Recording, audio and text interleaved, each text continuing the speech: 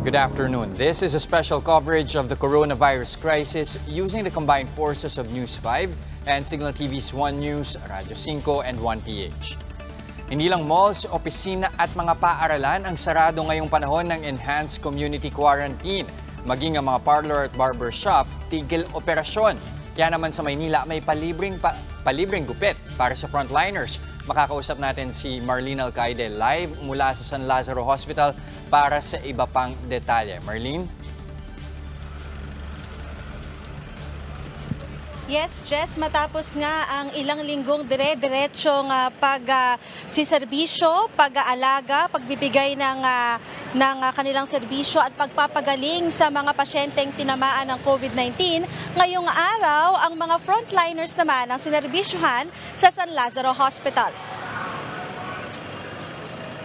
Libreng gupit para sa mga frontliners ang handog ng mga kaibigan at batchmates ni Myla, nurse supervisor ng San Lazaro Hospital, para tiyak na masusunod ang social distancing Magkakahiwalay na sinet up ang pwesto para sa libreng gupit. Ang mga barbero naman nakasuot ng face mask at face shield. Dahil 80 to 100 ang target na magupitang frontliners ngayong araw, ang pila idinaan sa listahan. Magpapalista at iiwan ang cellphone number ng mga gustong magpagupit at pag malapit na sila at saka lang sila iti-text at pabababain para mag-abang.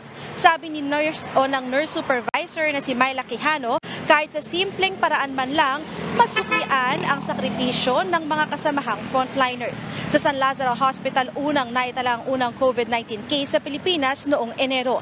At simula noon, tuloy-tuloy na ang trabaho para mapagaling ang mga pasyenteng sinusugod dito. Nagpasalamat naman ang frontliners sa libreng gupit. Ito yung ilang weeks na namin nirereklamo, especially dun sa mga lalaki naming mga, mga mukhang ano na, mga monks na nagmumuha mga ermitanyo na. And thank you very much for uh, this little gestures really makes a big uh, a big impact on our morality at these times na sobrang stressful and we are so sobrang depressed and you know just having your haircut maybe a small thing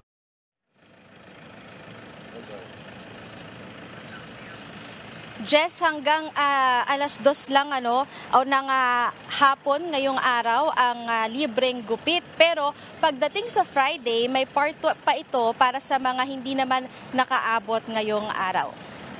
Samantala hanggang ngayon ay tuloy-tuloy pa rin ano, yung nakita natin kanina na nagbibigay ng donasyong mga alcohol at face shields para sa medical workers ng San Lazaro Hospital. Jess?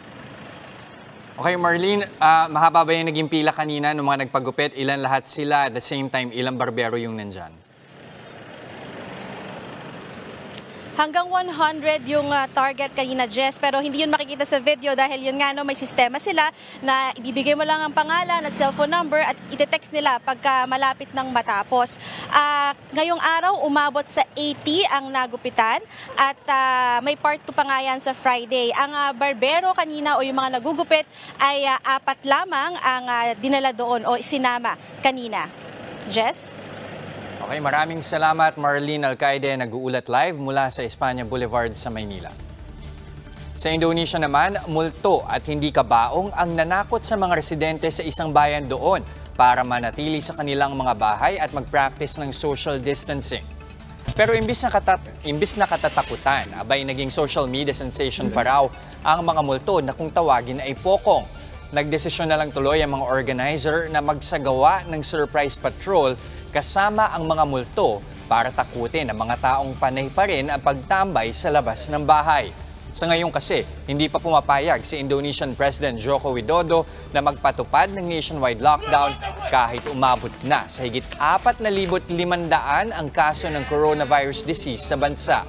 Kaya naman ang iba't ibang bayan doon, kanya-kanyang pagpapatupad na lang ng lockdown para hindi na kumalat pa ang nakamamatay na sakit. And that's the latest on the enhanced and expanded community quarantine in Luzon. For more updates, follow News 5, The Philippine Star, and Business World Online. I'm Jess De Los Santos. We are One News.